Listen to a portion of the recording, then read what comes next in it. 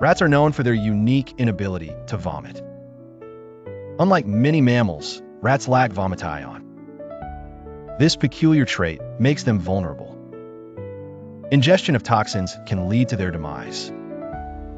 They cannot expel harmful substances easily. This inability also prevents them from burping. Such susceptibilities make poison control effective. Rat poisons rely on this physiological weakness. Poisons remain inside rats, causing harm. Resultant toxicity leads to organ failure. Understanding this trait aids in pest control.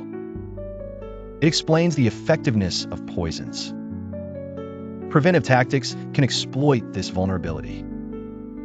Handling rats require awareness of this trait. Rats must manage food safety carefully.